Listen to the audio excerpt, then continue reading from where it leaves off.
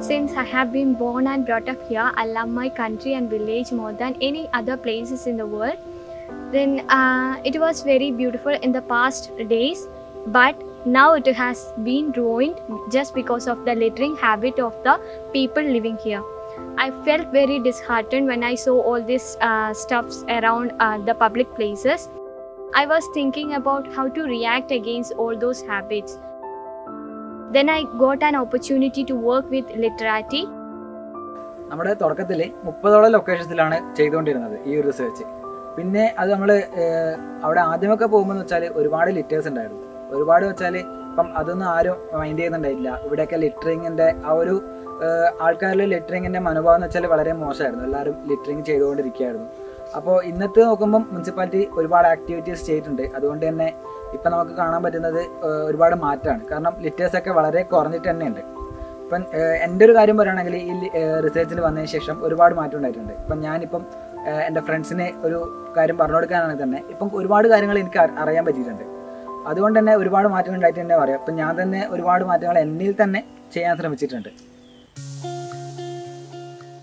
അതായത് ആദ്യത്തേലും ഇപ്പൊ വെച്ച് നോക്കുമ്പം കുറെ പഠിക്കാൻ പറ്റും.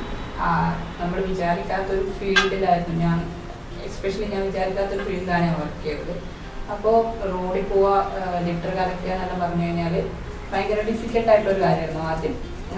ആൾക്കാർ എന്ത് വിചാരിക്കും കാണുന്നവർ എന്ത് പറയും?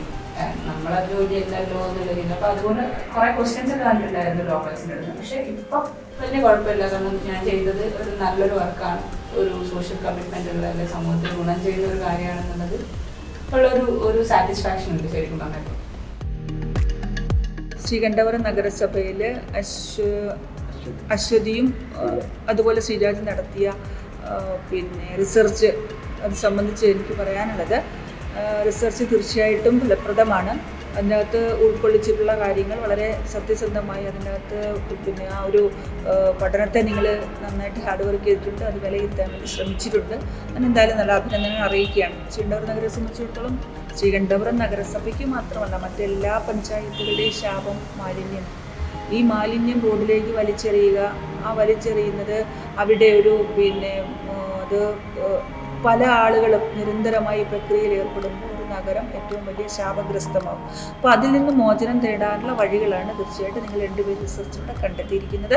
അപ്പോൾ അതിനകത്ത് പറഞ്ഞിട്ടുള്ള പ്രധാനപ്പെട്ടത് വലിച്ചെറിയലിനെതിരെ ബോധവൽക്കരണം അതുപോലെ വലിച്ചെറിയുന്ന ആളുകളെ കണ്ടുപിടിക്കുക ശിക്ഷിക്ക് ശിക്ഷ വിധേയമാക്കുക ഇത്തരം കാര്യങ്ങളൊക്കെ വളരെ നല്ല കാര്യമാണ്. അതിനെ തീർച്ചയായിട്ടും അഭിനന്ദിക്കുന്നു. From working closely with the municipalities and the formal sector to reaching out to schools and local businesses, the little data has increased awareness and has started to point to areas of improvement. Vadagara, for example, had its highest concentration of litter along its western coastline, and its area saw the largest reduction over the monitoring period. And in Srikantapuram, we saw a reduction over the monitoring period. This was mainly due to an increase in community awareness through an education program in the local schools and an increase in the household collections. Vadakara നഗരസഭയിലെ മാലിന്യ സംസ്കരണ രീതിയെപ്പറ്റി അറിയാനും പഠിക്കാനും ഈ ഒരു റിസർച്ചിന്റെ ഭാഗമായി എനിക്ക് മുമ്പിൽ എത്തിച്ചേർന്ന പ്രിയപ്പെട്ടവർക്ക് നഗരസഭാ കൗൺസിലിന്റെ അഭിനന്ദനങ്ങൾ അറിയിക്കുകയാണ് നഗരസഭ മാതൃകാപരമായ മാലിന്യ സംസ്കരണ രീതിയാണ് ഇപ്പോൾ നടപ്പിലാക്കി വരുന്നത്.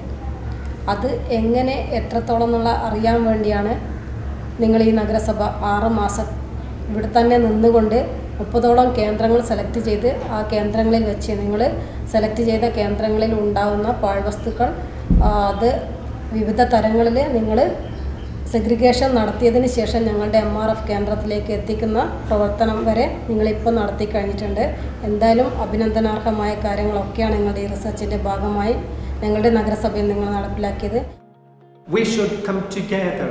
We should uh, uh, uh, take a concerted effort to help our Mother Nature.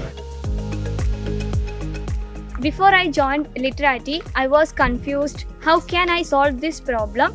But now I can do something for my village. Now I feel my wish is completed